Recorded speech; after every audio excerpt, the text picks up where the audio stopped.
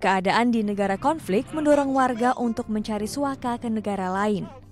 Tercatat pada tahun 2015, pengungsi di dunia mengalami peningkatan drastis hingga 65,3 juta jiwa. Kondisi ini menimbulkan masalah kemanusiaan secara global. Sebagai salah satu negara transit dari warga pencari suaka yang berasal dari negara konflik, Indonesia membuka kesempatan bagi pengungsi untuk singgah hingga mendapatkan kepastian dari negara ketiga. Menurut data Komisioner Tinggi PBB untuk pengungsi, hingga akhir Maret 2017 tercatat sebanyak 8.279 pengungsi yang terdaftar di UNHCR Jakarta. Sebesar 25 persen atau 406 orang di antaranya merupakan anak-anak di bawah usia 18 tahun. Bismillah Joya, satu dari anak-anak pengungsi yang terlantar tanpa tempat tinggal, berasal dari negara konflik Afghanistan.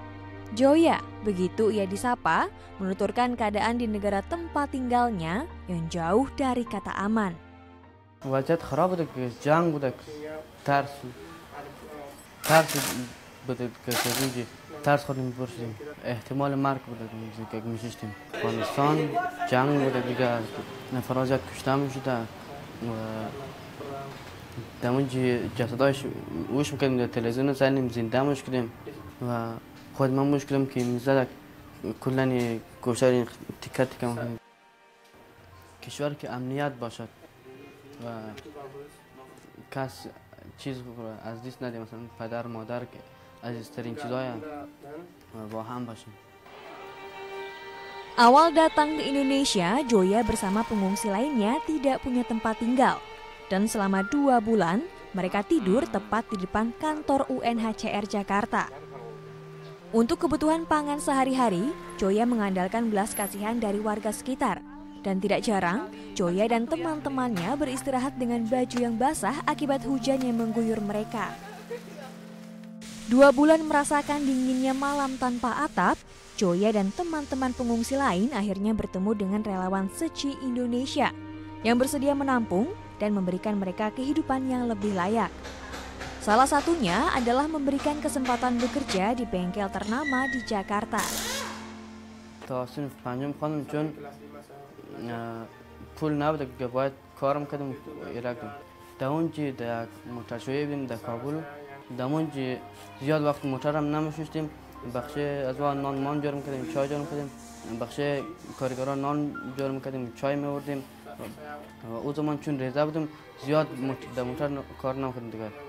kam kam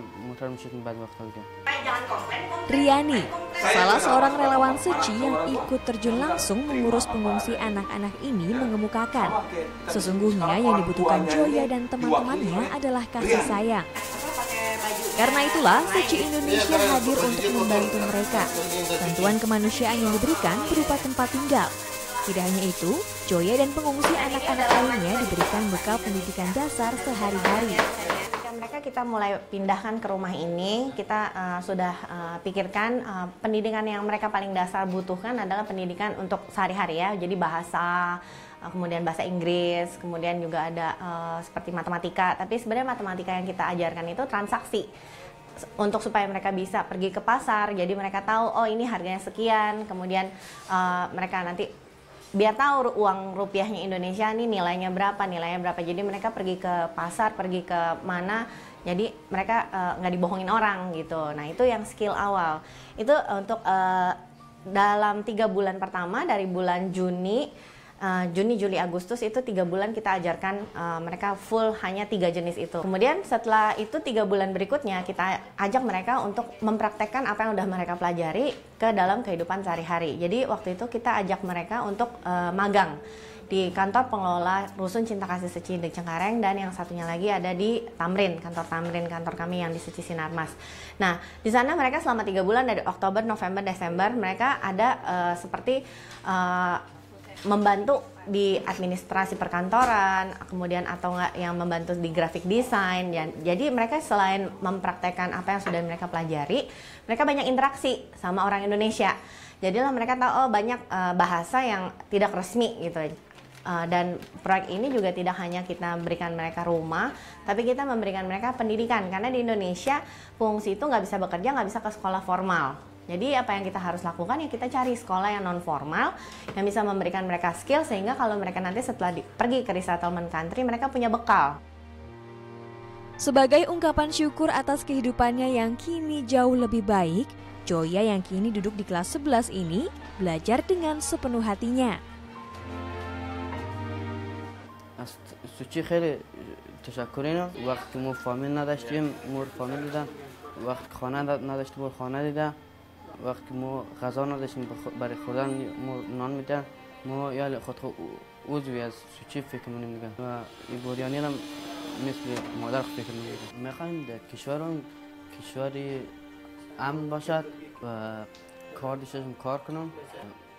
فامیل کمک کنم و مثل سوچی مردم دیگر هم کمک کنم. قسم که یالی ما خیلی نیاز داریم سوچی ما کمک نه. ما و ما Arzu Riani berharap melalui bantuan kemanusiaan yang diberikan oleh Seci Indonesia, jalinan jodoh antara pengungsi anak-anak ini dengan Seci terus berlanjut. Tim Liputan, Da'ai TV